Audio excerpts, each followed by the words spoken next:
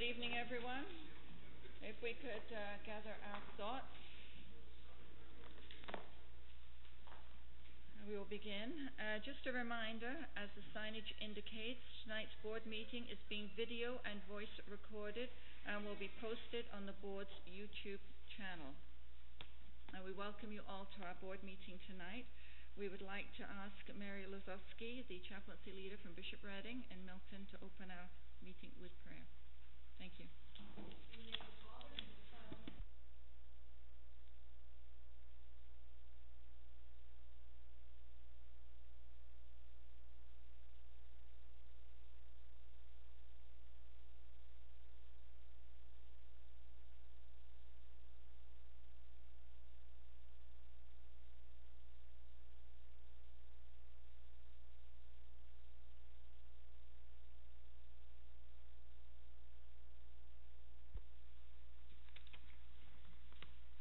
Replied, It is not for you to know the times or periods that God has sent by God's own authority, but you will receive power when the Holy Spirit has come upon you, and you will be my witness in Jerusalem and in all Judea and Samaria, and to the ends of the earth. When he had said this, as they were watching, he was lifted up, and a cloud took him out of their sight. While he was going, and they were gazing up toward heaven, Suddenly two people in white robes stood by them. They said, Galileans, why do you stand looking up toward heaven?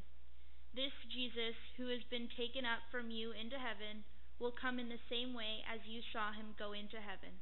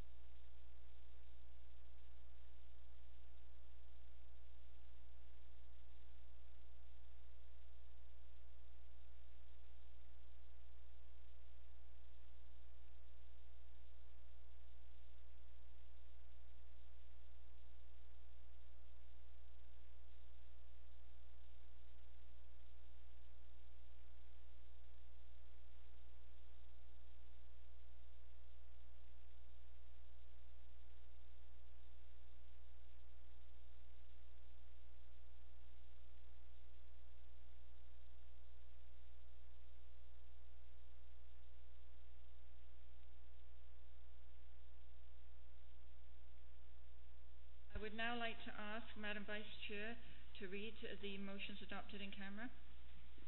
Thank you, Madam Chair.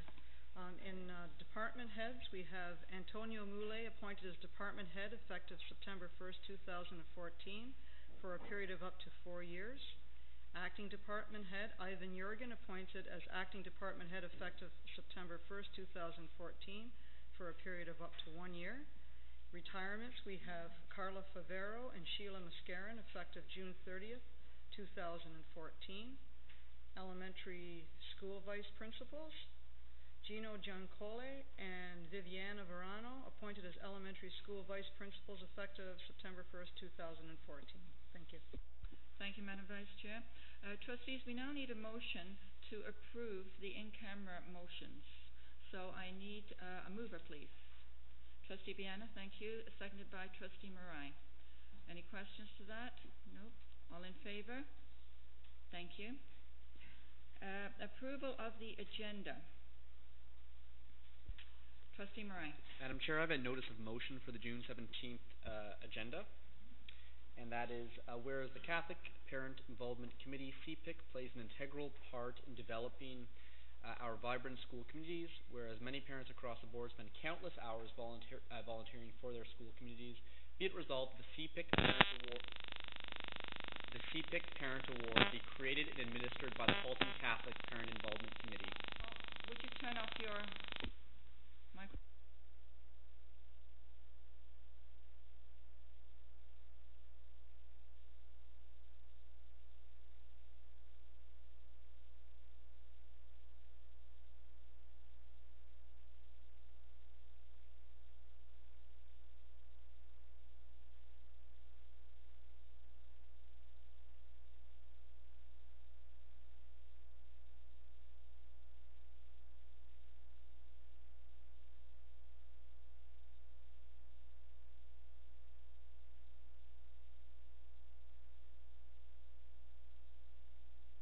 Okay, all in favor?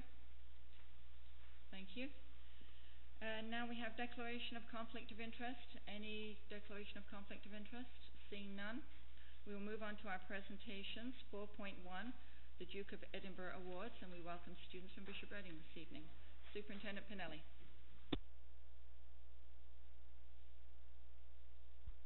Thank you, Madam Chair and trustees. It's my honor this evening to uh, recognize and present the bronze recipient from my uh, outstanding high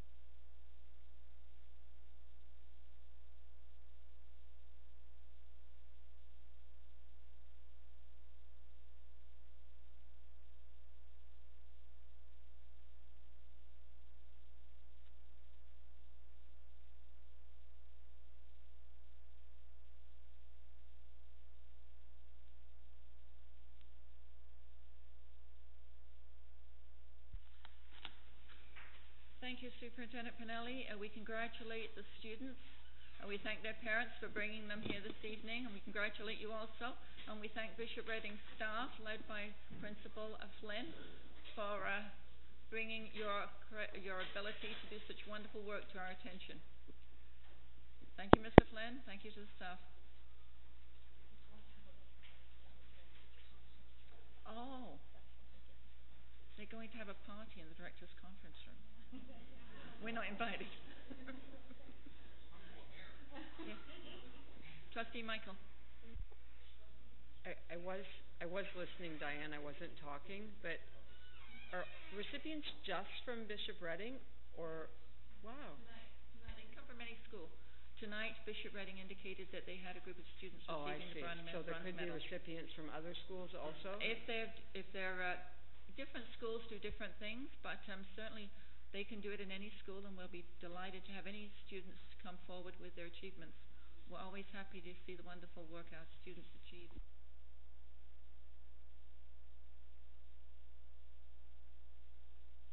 See if there are any other schools that would like to come this evening and there wasn't another school that was doing that at this particular point in time. Okay. On to our um, 4.2, proposed 2014 amendment to 2013 Education Development Charges Bylaw. Superintendent McMahon, do you want to introduce this and then I'll do my blurb? Yeah.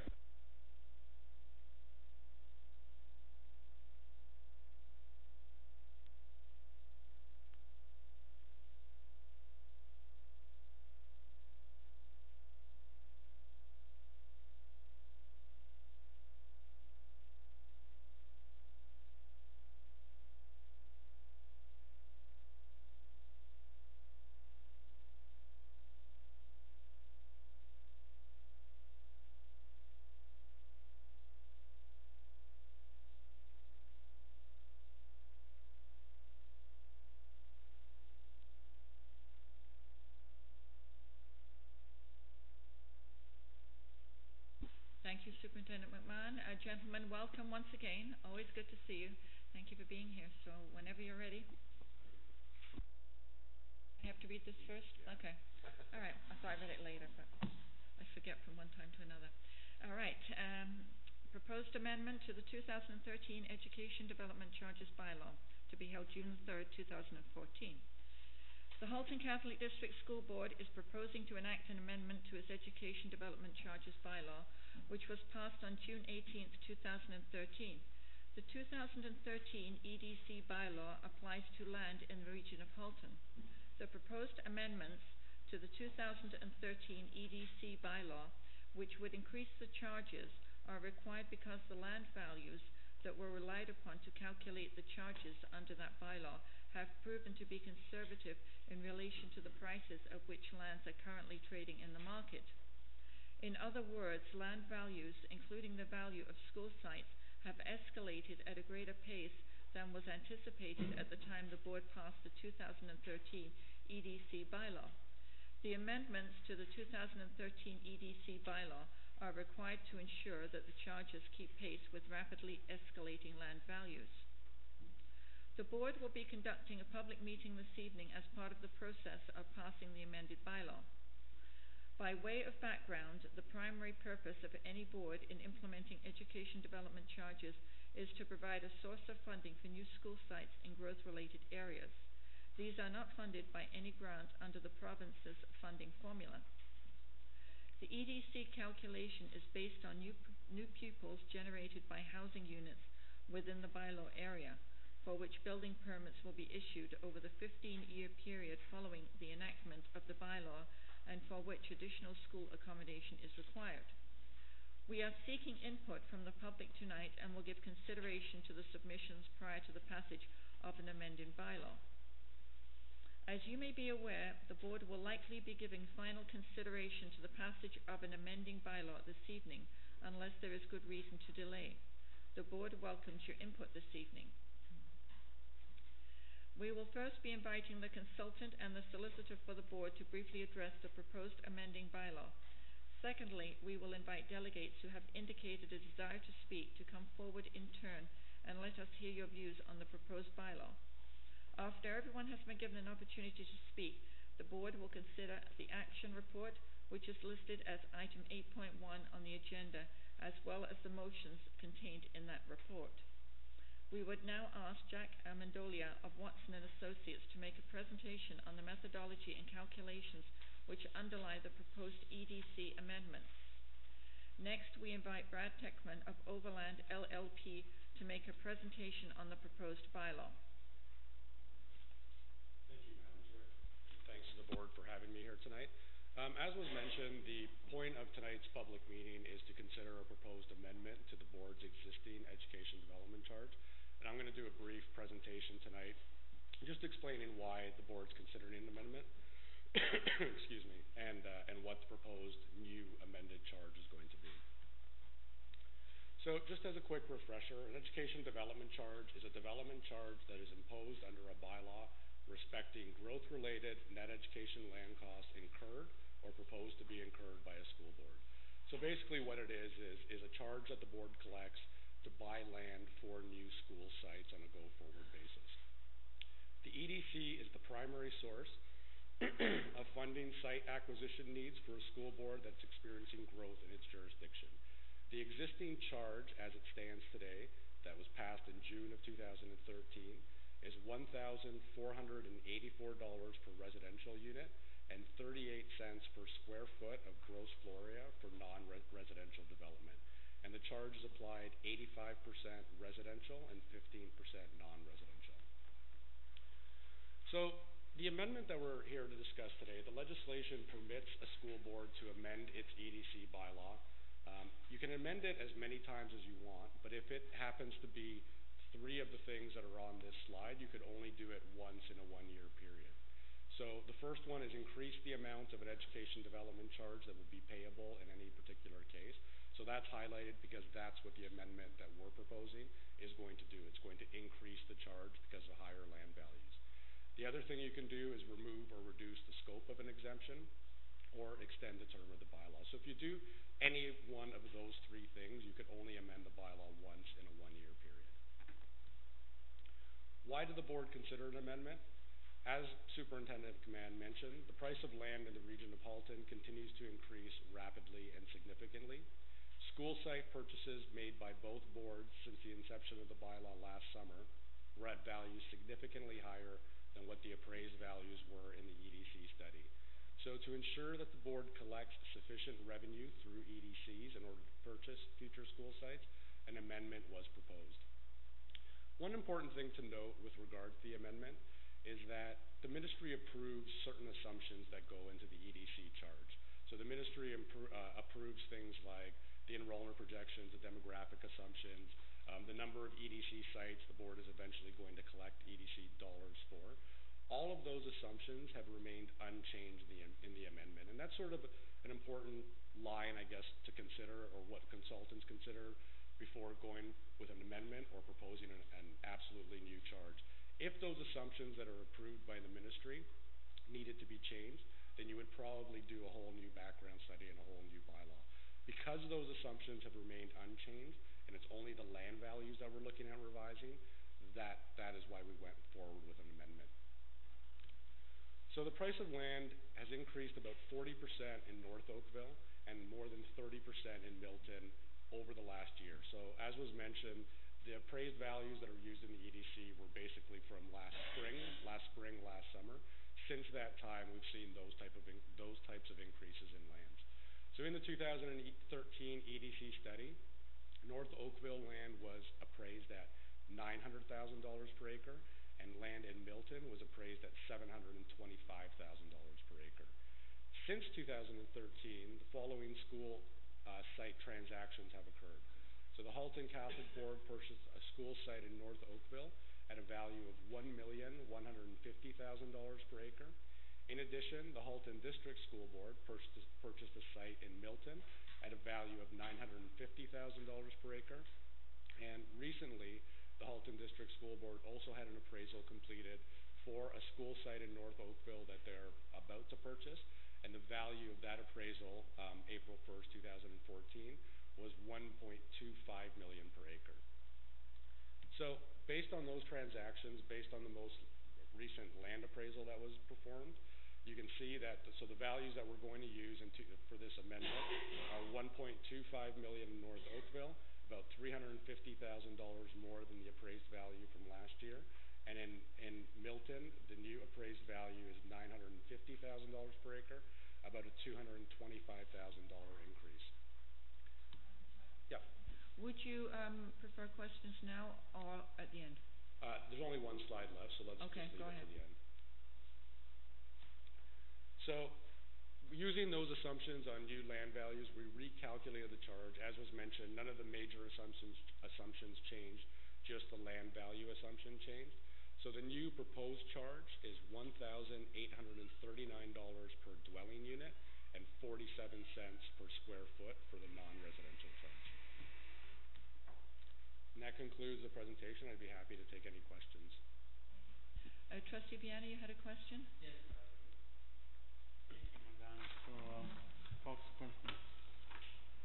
Excuse me. It shows here in the chart, uh, only talk, we are out in region, talk about Oakville and Milton. What happened to Burlington and Halton Hills? In Burlington, there's no future school sites for the board to purchase, so Burlington land values haven't affected the calculation. In Halton Hills, we've left the, the per acre price as is. There's no, evidence or the boards haven't purchased any sites in Halton Hills to indicate that the values are, are off in terms of what was used in the EDC. So only Milton and only North Oakville were changed in the proposed amendment. Well, I will appreciate in the future that you notice that here in the paper, so, uh, so we know what we're talking about, please. Sorry, what was Sorry, that? could you repeat that, please, Mrs. Bianna? Could you repeat, could you repeat that, please? I will say for further information, next time, it should be noted on the information. That Hal- that Halton Hills and Yes, Burlington. Alton Hills and Burlington. That's noted, okay. Okay, thank you. We can do that, thank you. Okay, any other questions? No? Okay, thank you very much, Thank you. appreciate that. Next, we invite Brad Teichman of Overland LLP to make a presentation.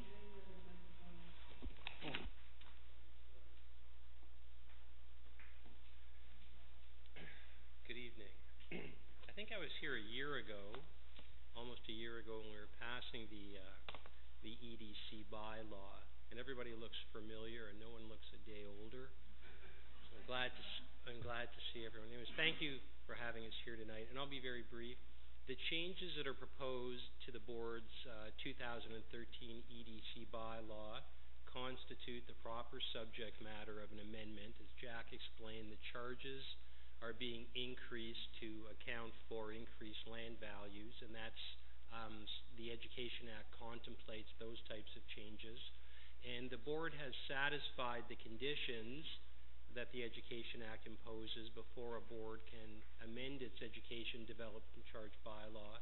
And the conditions are briefly to give notice of this meeting and of the proposed amendment, and to make information available to the public, and, um, board members have the reports prepared by Jack as well as, uh, as well as by Mr. McMahon and, uh, and by Fred Thibault as well. So that information was made available to the public.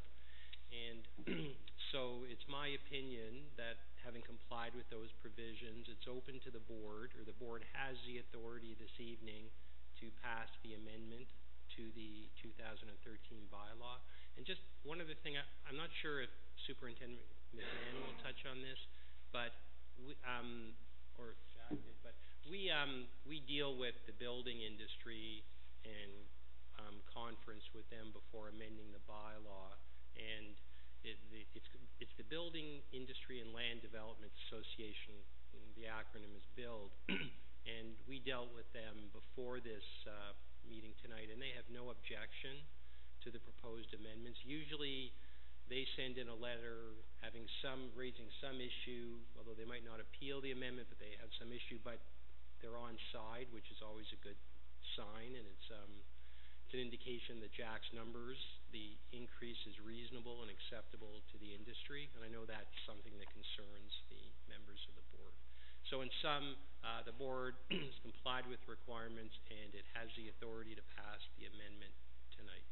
Thank you.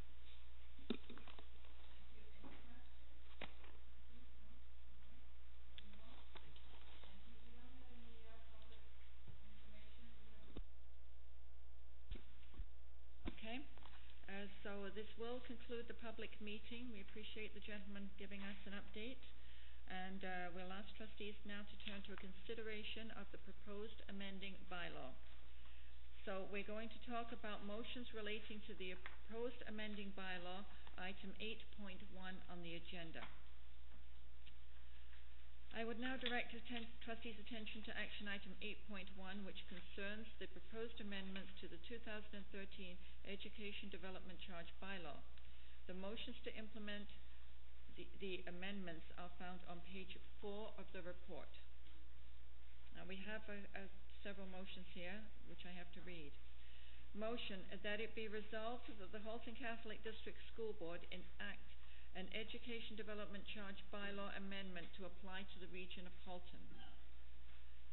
Next, motion that the Halton Catholic District School Board enact an amending education development charge bylaw in the form attached to the action report 8.1 and that it amends the board's 2013 education development charge bylaw in the following respects. 1. In paragraph 9, substitute $1,839 as the education development charge applicable to each residential unit dwelling, dwelling unit, sorry. Second, in paragraph 12, substitute $0.47 as the education development charge per square foot of gross floor space applicable to non-residential development. Is there any uh, discussion on the report and the motion? Right, moving along. This concludes the proceedings concerning the EDC bylaw. Hmm? Yes. So we have a mover for both, I'm sorry, trustee Marson. Oh, mo- moving it, thank you. A mover, seconded by trustee Lemay. Any questions? All right, all in favor? Thank you. We're good? We're done. Okay. Thank you very much, gentlemen. It's always a pleasure to see you. We appreciate the time you give to us. Thank you.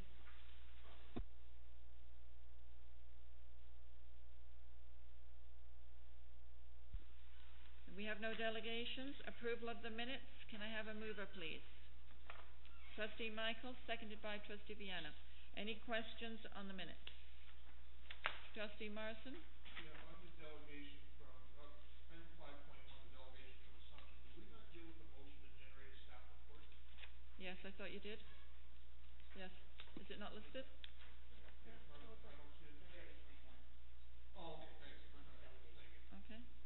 Is that to be done for October, I believe? Yeah. Okay. Any other questions pertaining to the minutes?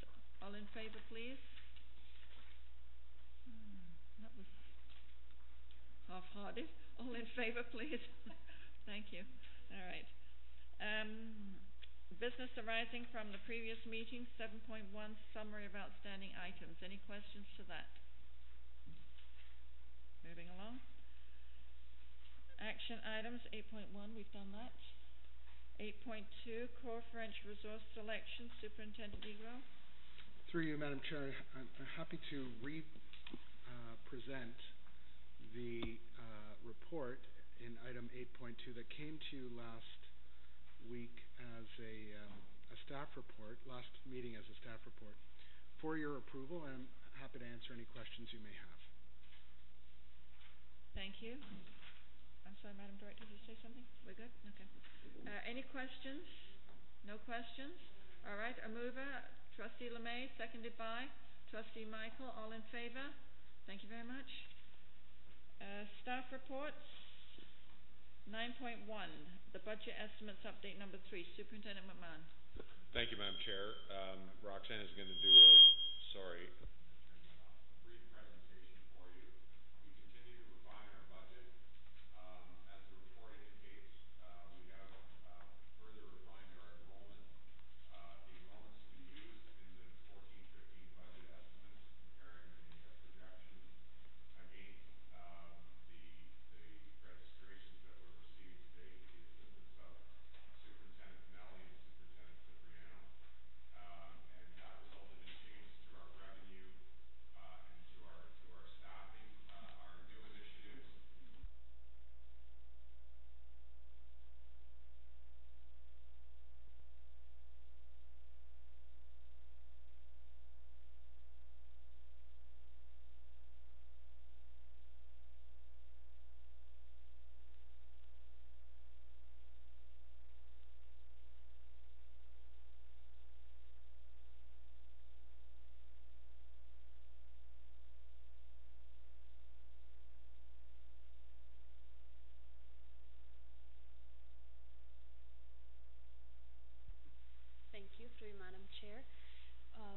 prepared a few slides to walk you over the changes in our budget from the previous meeting.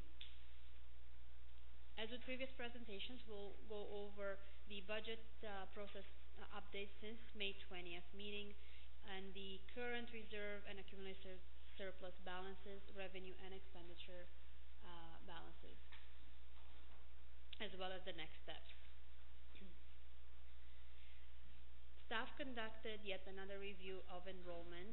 Uh, being the main driver of our grant revenue, uh, staff has diligently reviewed enrollment projections against current elementary and secondary staff, uh, elementary and secondary registrations through the Staffing Allocation Committee. It has resulted in a reduction in the overall enrollment by a total of 158.5 average daily enrollment this, in turn, has reduced our grant revenue by approximately 1.3 million and has been in part offset by a reduction in salary and benefits of approximately 672,000.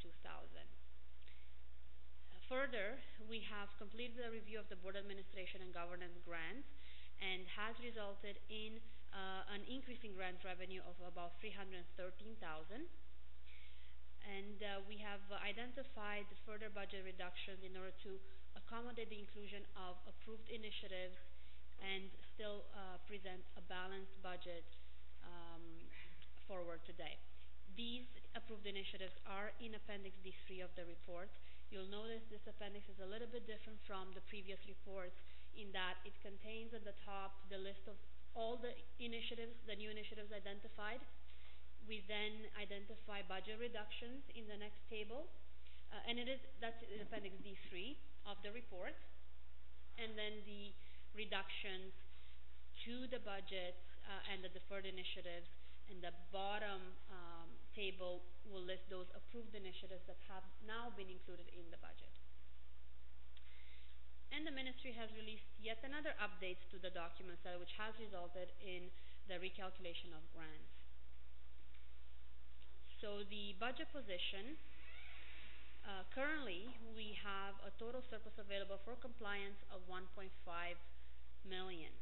So it's up about 300,000 from the previous presentation.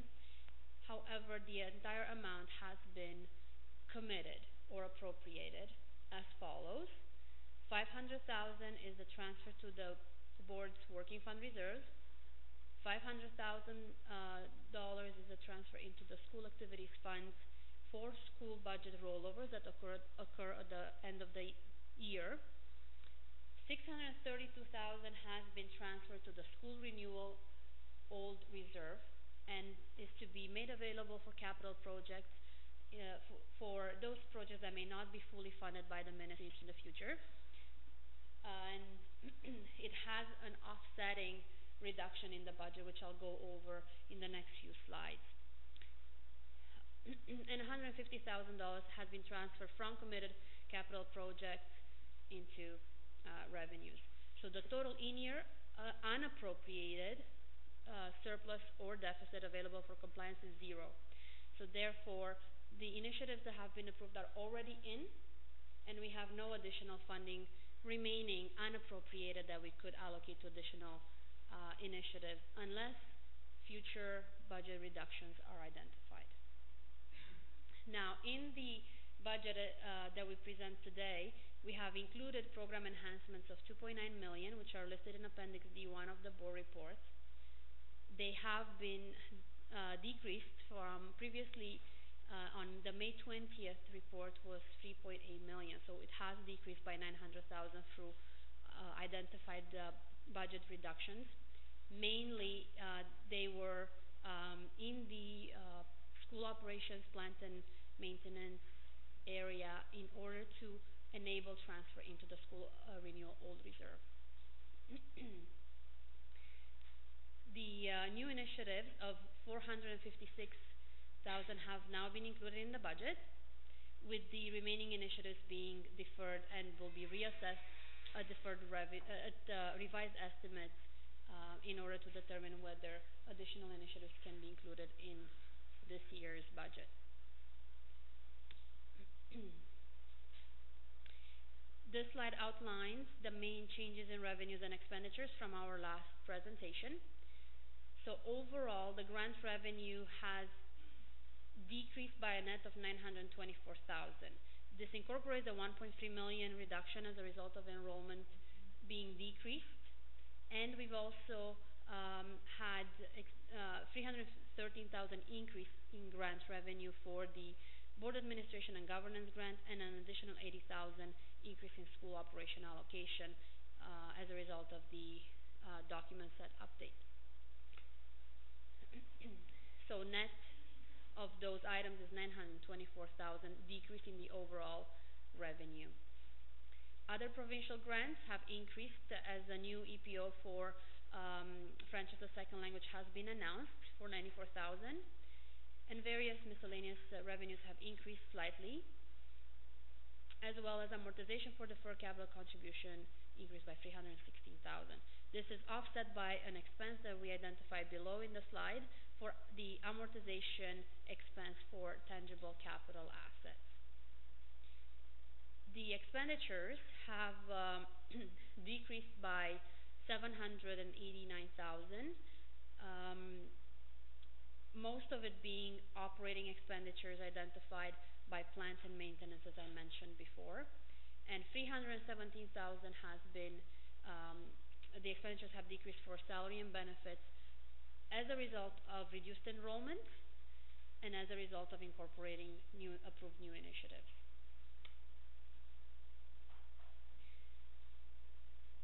In terms of the budget challenges, our current budget position for special education, we are expected to be overspent by approximately $402,000.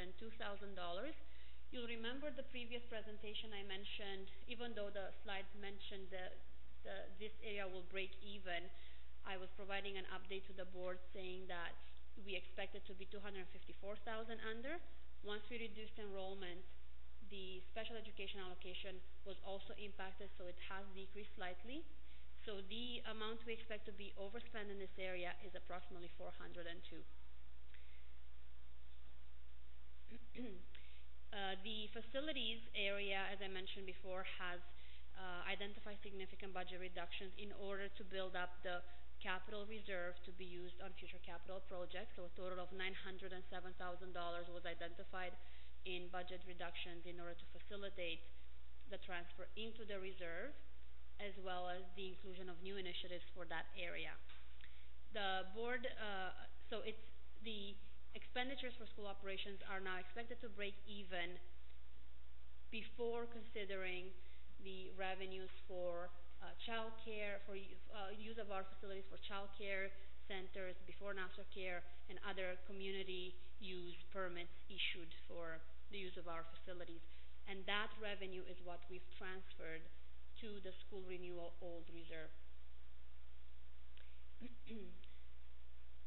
the board administration and governance grants, uh, governance expenditures are expected to be um, under the estimated revenue by approximately 150,000.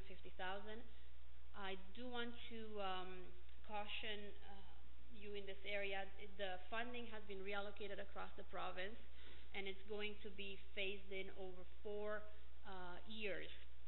Um, it is now based on a percentage of the old model and of the 25% and 75, uh, sorry, 75% on the old model, 25% based on the new model. When this phase-in is complete, we expect that the amount in this grant will decrease by approximately $100,000. So we'll be breaking even in the future. Transportation is expected to be overspent by approximately 320,000, uh, which is um, the amount prior to the upcoming effectiveness and efficiency follow-up review that is expected to identify efficiencies and further funding, reducing this gap. This is just a depiction of our current balances in terms of the reserves and surpluses that we have to date.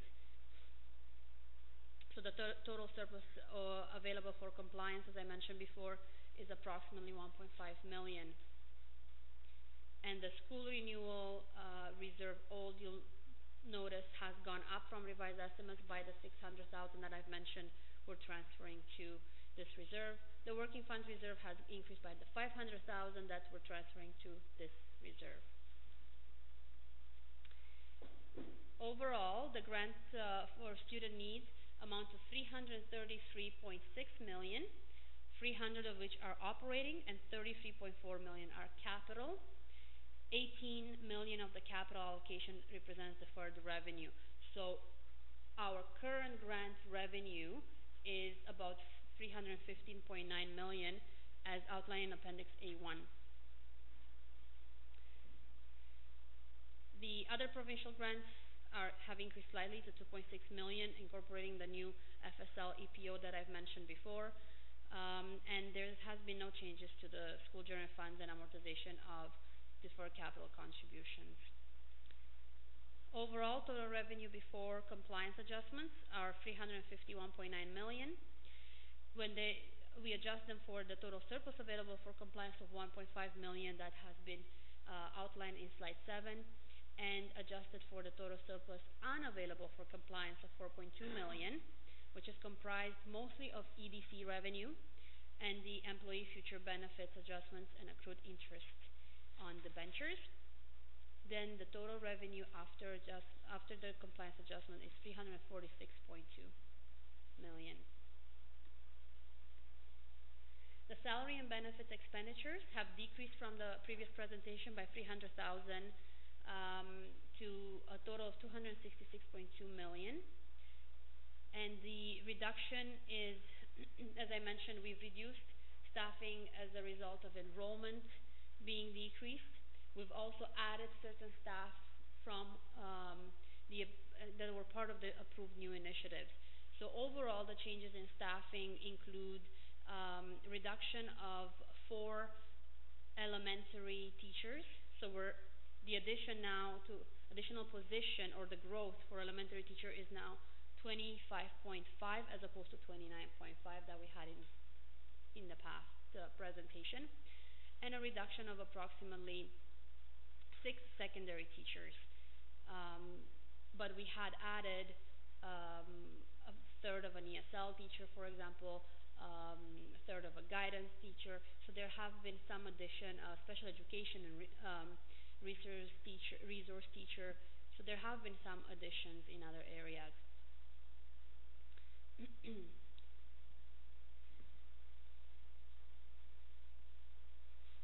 Other expenditures amount to 42.3 million, uh, which are, are, are lower than the previous uh, presentation, mainly as a result of the plant and maintenance expenditures reductions identified. Uh, capital expenditures, school general funds, and depreciation of uh, and school general funds have remained unchanged. Depreciation of tangible capital asset has increased by 300,000, as I've mentioned uh, in the previous slide. Total expenditures are 346.2 million after the compliance adjustment. In terms of next steps, we are going to be conducting two more reviews of enrollment on June 4 and June 11 in order to determine if additional changes are required. And senior staff will reassess uh, which new initiatives are to be included or deferred should enrollment change as a result of those reviews. The final uh, budget estimates report will be presented to the board for approval at the next regular board meeting on June 17th, and the uh, budget estimates will be submitted to the ministry by the uh, uh due date of June 30th. Thank you. Thank you, Roxana. Very informative. Uh, questions? Trustee Rowe. You, Madam Chair. Um, just had a question about on slide five, page 74 of your package. Um, and it's to do with, um, there we go. It's to do with uh, other operating expenditures decreased by $788,000, mostly due to reduction in plant and maintenance expenditures. Is this a fur further deferral of, um, of ongoing maintenance and, and of our plant? Who would like to answer that one? I'll let John. Superintendent the, Corbacio. the answer is yes, Yes. but I'll let Thank John you. go. Uh, and I'll second that, yes. Uh, did you want a supplemental, or are you okay with that, Yeah. trustee Rowe? Well, I'm not You'd really like- okay you'd with like it. to know Is there, where? is there no other way of, um, I mean, because we've been cutting plant and maintenance Mhm. for s- several years. And, Many um, years. Is this, has this been determined to be, um, not, not, um, immediate needs, or is it, uh, Superintendent Corbacio? Uh, as trustee Rowe pointed out, this has been happening for several years now, and we are getting concerned with the amount of deferred maintenance. It's not a cut, it's a deferral. And, um, we're doing our best to keep our, uh, our buildings together. They're still in, in good condition, but we don't want this trend to continue, but we need to balance the budget. And this was a decision of senior staff.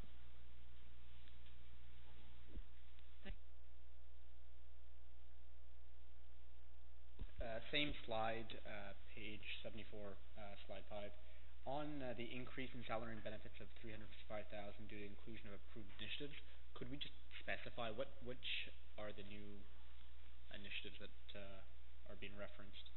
Madam Chair, this slide, I believe at the top refers to, oh, sorry, it doesn't, but uh, uh, Appendix D3 in your report, um, the $456,000 uh, in the in the box that Roxana referred to, which is the box at the bottom, those are the ones that are now included in the budget at this point in time. The other, we started with 793,000.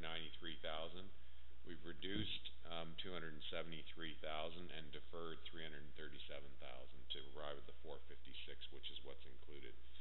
Um, so um, the 355, Roxana, is um, would be the salary component of that, which is the uh, if you look at the column on Appendix D3, the salary and benefit column is 355, 100 there. That's the corresponding number.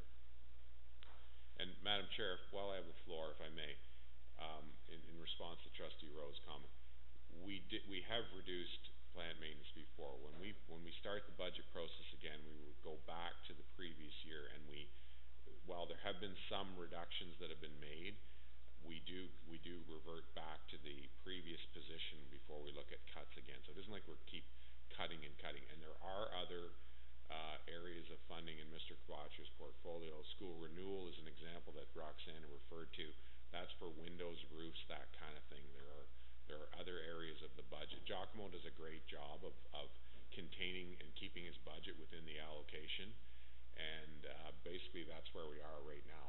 Uh, the, his budget is within the, the the school operations grant, it's called, and um, so the, we between the, there's there's uh, money for new construction, there's money for school um, renewal, which is um, um, large capital expenditures to maintain our schools, and the plant oper- operations and maintenance budget is for custodial maintenance, that type of thing included here. So, you know, we have to balance the budget somehow.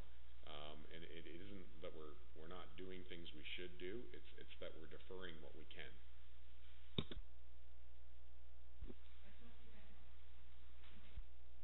Thank you, Madam Chair. The, uh, so the decrease of 158 enrollments is what's really causing the, the decline in the funding. So do we, so, do we have any idea what's, what's behind the drop in enrollments? Do we see any pattern or trend, or is it just one of those things? Uh, through you, Madam Chair, yes, we do. Uh, there's two things. Uh, one is um, we're noticing that between October and March, our elementary grant, our elementary enrollment typically has gone up uh, by about half a percent. It's more around about uh, a third of a percent now. That's one thing we're noticing. And uh, Superintendent Pinelli has spoken before about secondary. While our secondary enrollment declines, uh, um, you know, on average or across the, the system at about three percent from October to March, we're noticing in some of our schools declines as much as five and six percent. So um, this this is consistent, I, I believe, that, that uh, with the trend that other boards are experiencing. Uh, but those are two two of the reasons right now. Um, I don't know if there's an imputed uh, uh, decline, if you will, in secondary in terms of the um, um, uh, cap on 34 credits now. The the um, sorry, high credit is what I'm trying to say. We we any any credits that students take over 34 now. The grant we get for them is at the Con Ed grant rate. It's not at the at the regular secondary schools grant rate. Um, we're basically right now um, uh, comparing the enrollment forecast that we used that we sent to the ministry last November with um, registrations that we're receiving uh, through Superintendent Cipriano on the elementary side and sections that students are subscribing for in the secondary panel and trying to line those up. We feel that our elementary numbers are, given the growth in North Oakville and South Milton, that they'll come up sufficiently in September to meet the target. Secondary, we, we've reduced it sort of to the midpoint between um, what we thought, uh, what the forecast was, and, what we're seeing now. So we feel our our enrollment numbers are, conservative at this point. Um, but those are the reasons for the decline. I don't know if uh, the uh, academic superintendents would like to comment further on that. Thank you, Madam Chair. Um, secondary is experiencing a decline not only in our board but across the province, and it just is the blip as as the trends, the population trends are, and over the course of the next three to five, we are years, we're going to continue to experience provincially a decline in adolescent. Uh, but we are going to see a rise because if you take a look at the enrollments at the primary level uh, in our schools right now, you'll see a pattern and trend that we are going to eventually come back up at the secondary level. But we're not the only one. It is it is a population trend right now that is hitting us at the secondary level. Thank you, everyone. Are there any other questions? No? All right. Well, thank you very much, Roxana, Paul, Giacomo, Tony, everyone else. All right. So we're moving on now to 9.2, Social Studies Resource Selection, Superintendent Ego. Through you, Madam Chair, I'm pleased to present the staff report on the uh, Grade 4 Social Science Resource. We are recommending many gifts. Uh, we're starting at, you may have a question as to why we're starting with the Grade 4 and not the Grade 1, which is currently available. Uh, Nelson has uh, produced the Grade 1, um, and it's missing the additional resource that is included in the Grade 4. So that's one of the reasons why we're starting in grade four. We're kind of waiting on Nelson to supplement the grade one resource with the uh, supplementary material. And the other reason is that, and maybe the mo- most important reason, is that the grade four curriculum has changed significantly compared to the grade one. So uh, we're going to start there and uh, then move to the other grades as you see listed in the report. And I'm happy to take any questions you may have. Any questions? No? All right, thank you. So moving on to information items, uh, ten point one, student trustee update. Uh, Maria's not here, but J- Jason, Jason's gonna do it? Okay. Thank you, Madam Chair. Uh, just two things. We had our last elementary student senate meeting last week at Corpus Christi. It was successful. We did look at the year in review, and we took some tips for next year. It's still undecided. We haven't decided yet um, whether we're going to do it again. It was a pilot project. Uh, at or before our last meeting, we sent out an initiative which involved sending secondary students into elementary student uh, elementary schools.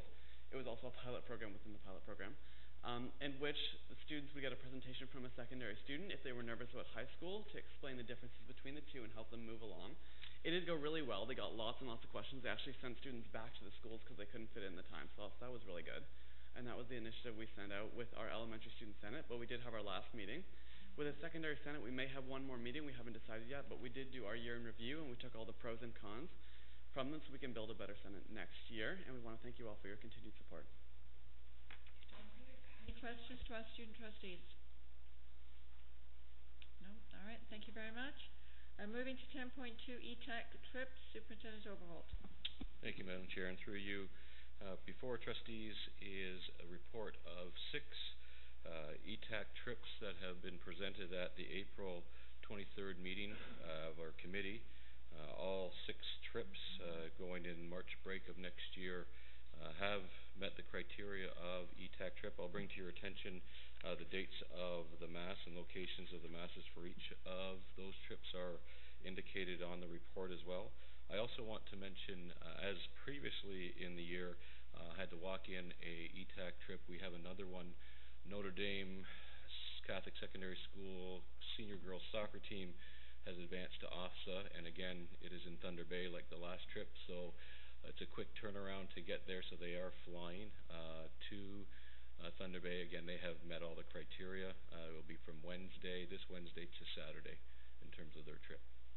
I'm more than happy to ask, answer any questions.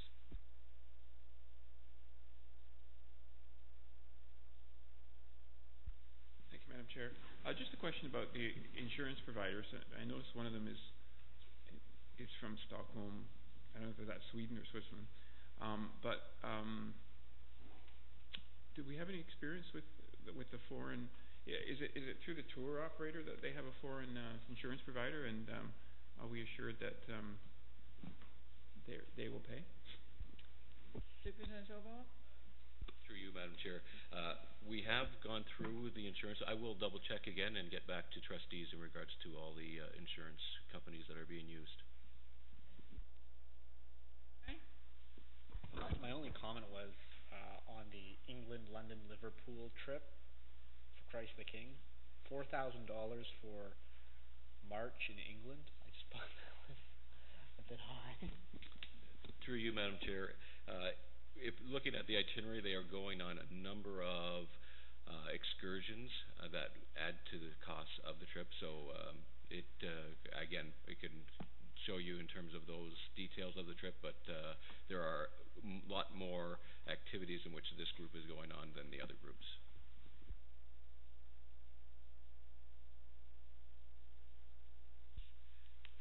10.3, Achieving Staff Development, Professional Learning, Mentorship and Coaching. Superintendent Knott. Uh, through you, Madam Chair, this report outlines some of our initiatives around professional learning to support our staff, um, ultimately for student achievement. Uh, in particular, this report outlines um, three of our main methods that we've been using for professional development of our staff, including instructional coaching, collaborative inquiry, and mentoring.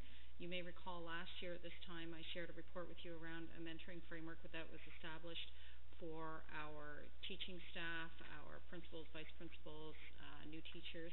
Uh, we have expanded that, worked on a focus group this year to establish a framework um, for our support staff, including staff such as uh, our educational assistants, social workers, uh, early childhood educators, uh, psychometrists, CYCs, and speech pathologists and communication disorders assistants. Um, the common thread that runs through all of these uh, methods of staff development is uh, staff supporting each other, staff working together, and building knowledge together. I'm pleased to answer any questions that you have. Thank you. Any questions for Superintendent Knott? Trustee Viana. Thank you, Madam Chair. and Superintendent, uh, this be any cost to the board? Uh, we try and do it as cost effectively as, possible. Certainly, if we wanted to expand a program and put some money into it, uh, we could do wonders with um, more training and capacity building. However, we're going to try and, and support our mentors, uh, for example, in the mentoring framework, um, through optional sessions for them to come to, so that doesn't cost us as much to do. So we're working within the budget that's set out for us. And how much is that budget? It varies because it's split between uh, both the curriculum and program services because our instructional coaches, our itinerants and consultants are funded under the um, both the special education department and program services. Uh, we have for our staff development that stands on its own with support staff, I believe there's 20,000 in our in our budget line.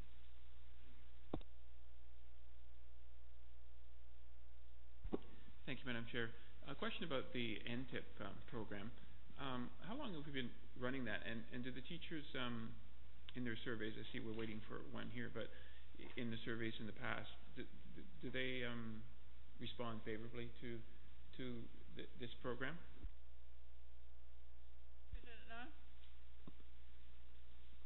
Um, right now, the, the program is under um, Jack's direction, but um, it has been the, the surveys have been very favorable uh, with the program that we've we've run for our new teachers, uh, both with the models of having them uh, have some time to collaborate with their mentor, um, and then to take that practice back in the classroom, um, along with the coaching classrooms that have been set up for the, the new teachers. Um, if you want to add anything. Uh, through you, Madam Chair, the NTIP program has been, uh, in many ways, one of the programs that have really retained teachers across the province in the teaching uh, force. It has been seen as a huge support through the uh, three components of the professional development, mentoring, and the orientation. So we continue to offer those opportunities to our uh, new teachers. And by new, we mean a first permanent contract and also we extend supports to LTOs in their first LTO uh, contract. So those have been uh, very, very well received. The, the feedback has been wholly positive, and we're continuing to build around uh, the feedback that we get from our participants in the NTIP program to make it even better. Thank you. Any other questions on this topic? No? One more. Trustee Viana? Did you have any contribution from the Minister of Education on that? Through you, Madam Chair, yes. Uh, that that program is funded uh, to the tune of about twelve hundred dollars per uh, new teacher.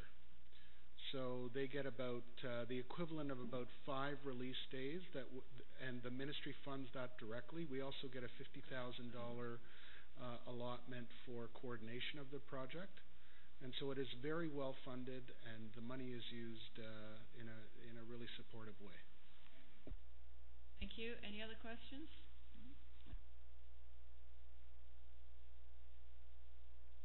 Parish Partnership, Superintendent Narr. Thank you, Madam Chair. Through you, uh, this report shares uh, with you our both our system initiatives and uh, highlights some of the um, school initiatives that are taking place to support our homeschool parish partnerships. As always, we recognize that parents are the primary educators in faith of the children, and so we work in cooperation with them. Uh, one of the things that um, uh, we do to support the Homeschool Parish Partnership is we have a steering committee that is represented by staff and parents and the parishes uh, to help us focus on, on initiatives that we need to be working on and ways to uh, go a little deeper with trying to bridge those homeschool parish partnership connections.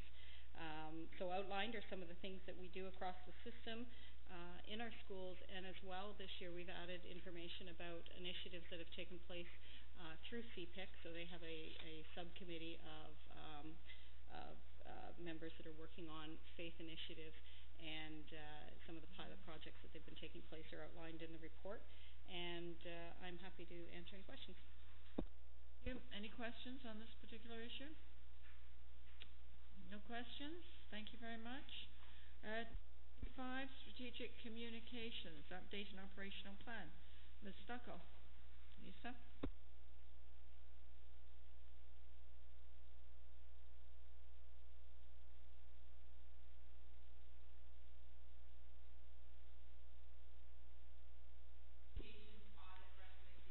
Excuse me, Lisa. Uh, you don't have a microphone over there, do you? Would you mind just coming to the center, if you wouldn't mind? In our old age, we're getting a little deaf. Thank you.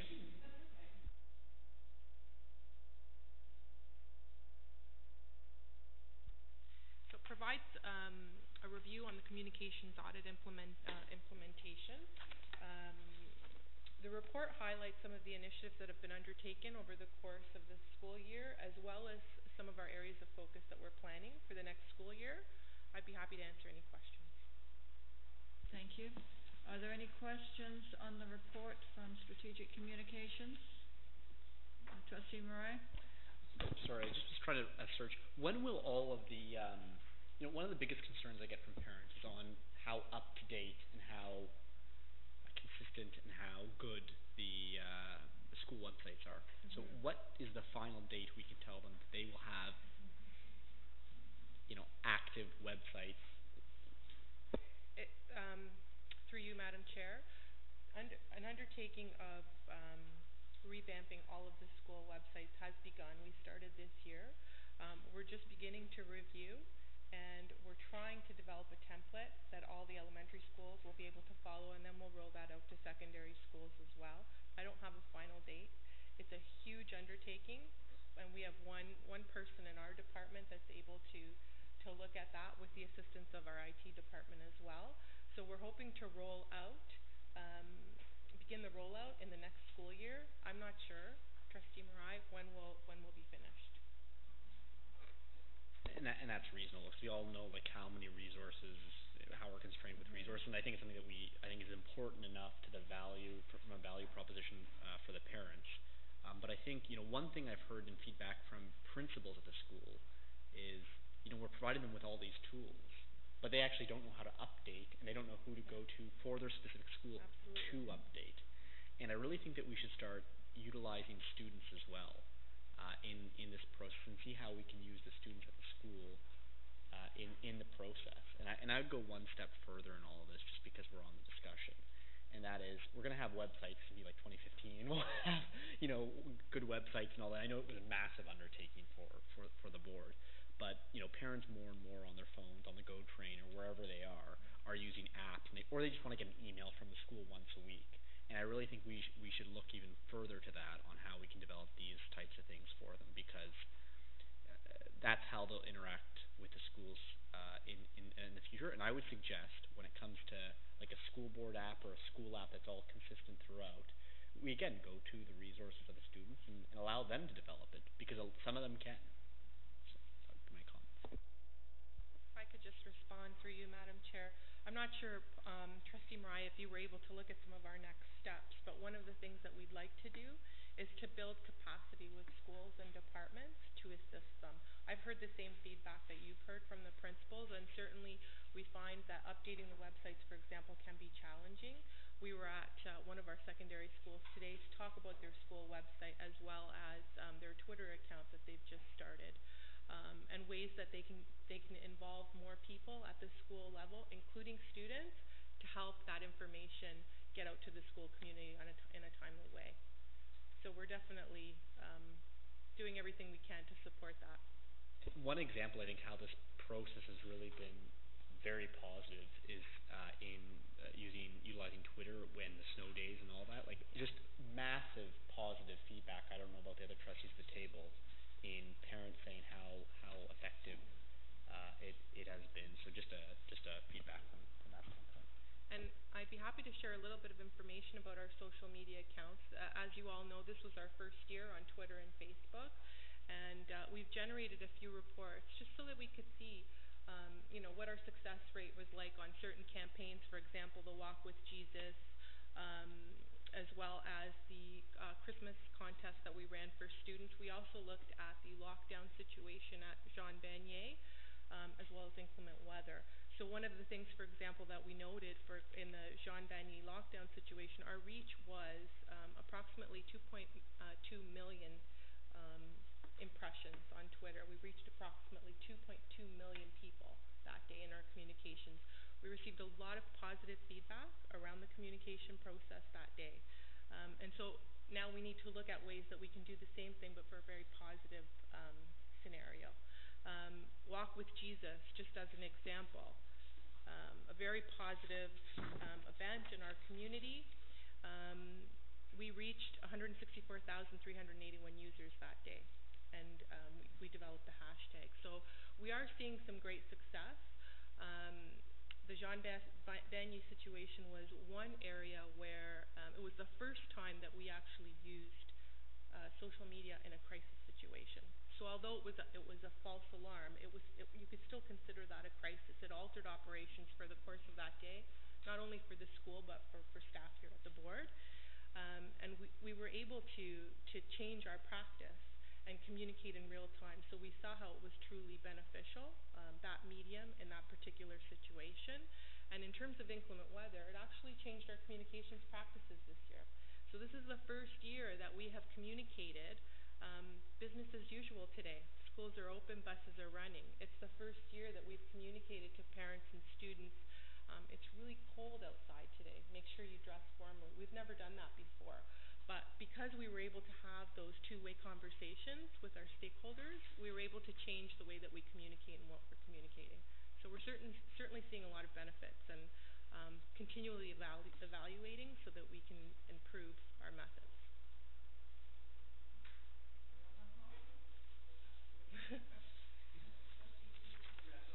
um, I want to say that I was actually follow some people on the board and probably the board website, and it's really good. It's awesome. Like you know, the snow day tweet was the best thing of the year. it, it, it really is good, and it really does work with students. Well, we're working hard to uh, to continue to improve our website, our social media channels. We need to focus now on our school websites, as Trustee Marai has pointed out, and we also have an internal website um, that needs a considerable amount of work that we're looking at as well. Thank you, Lisa. Excellent work. Appreciate all you and Andrea do. Uh, 10.6, Provincial Consolidation of School Board Financial Statements, Accountant's Report with respect to the seven-month period from September the 1st, 2013 to March 31st, 2014. Superintendent McMahon. I tried to make the title a little longer, but I wasn't able to, Madam Chair. Um, this is a report we bring forward every time, every year at this time. Uh, it is a, it is not an audit. It is a specified procedures report, uh, as is indicated um, fr- from our, our auditors, KPMG. Um, this report is necessary because the um, the province's month, uh, pardon me, the province's year end is March 31st, so we have to do a proper cutoff at that time and send in the numbers to them so they can do their provincial accounting. I will point out that on page uh, 126 of your agenda, on the last page of the report, it says, uh, as a result of, from KPMG, uh, it says, as a result of applying the above procedures, we found no exceptions. That is what we have got, I believe, for the last eight or nine years now, too. And I would um, uh, like to point out that the vast majority of the work done on this report is by our uh, financial analyst Lisa Lebensky, who has been here for the last seven years, I believe, Roxana, and she's leaving us this Friday for another uh, place of employment. So uh, anyway, just wanted to recognize her. So, and I, Roxana I would be happy to answer any questions trustees may have. Well, we certainly appreciate uh, her work and uh, wish her well. Uh, any questions? Any questions for our financial people? Nope. All right. Thank you very much. Uh, moving on to 10.7, notice of motion, Trustee Marai. Madam Chair, I, did mention uh, what the notice of motion is. Again, I don't believe I need to read it out again. Happy to answer any questions. My only comment would be that um, uh, I was asked to bring this notice of motion forward because I think it's something that CPIC would like to do, and they thought it was most appropriate that it come through the board first, as CPIC is a, committee formed by the board. So uh, hopefully we'll have some representation from CPIC at the meeting too, so that they can answer some questions on what the criteria would be for the parent uh, award. So that will be on the agenda for next meeting, June 17th. Uh, miscellaneous information, uh, SEAC minutes. If you have any questions pertaining to the SEAC minutes, Superintendent Brown is there to answer your questions. All right, we have no correspondence. We do not have open questions. We do not have to go back in camera. And uh, adjournment and closing prayer. Trustee Viana, you are, sorry, adjournment.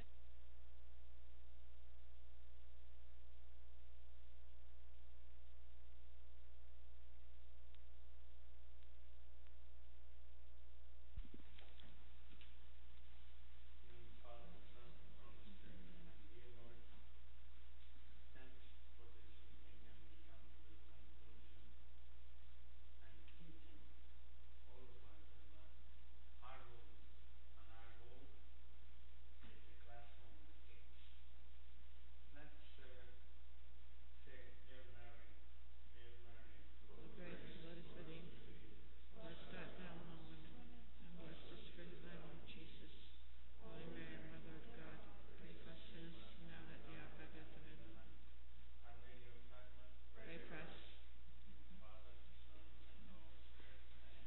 Thank you very much, everyone. Have a safe drive home.